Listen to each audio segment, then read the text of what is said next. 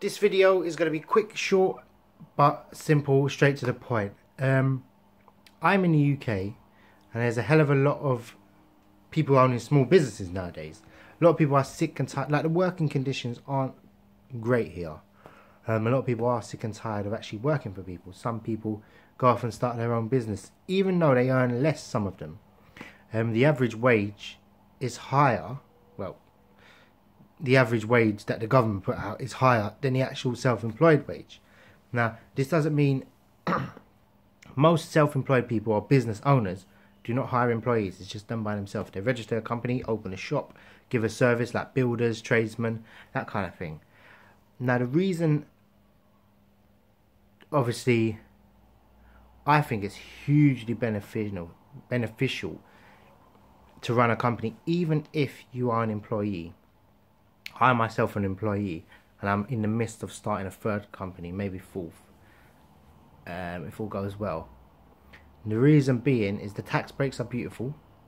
You can get a brand new company car um, as a tax break if you know what you're doing. Um, it's extra money and it's fun, and you get to know a ton, ton of people.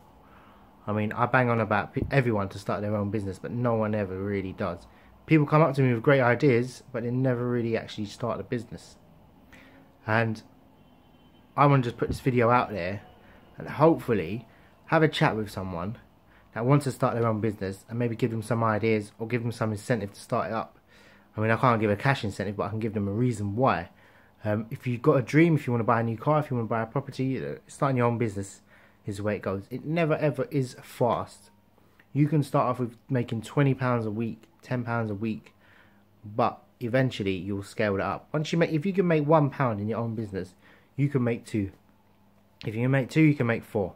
And you'll get to the stage where you are actually making a nice bit of money. Clump it all together in a nice little pile have 10,000, 20,000 and think, what am I going to do with this money? Can I make it make more money? Can I save it? Can I sell my business? I mean, I started a few businesses and I sold them all off as well. Because if you show it produces profit and revenue, someone will buy it. Like that, instantly. It's more desirable to sell that. You can't sell a job, but you can sell a business.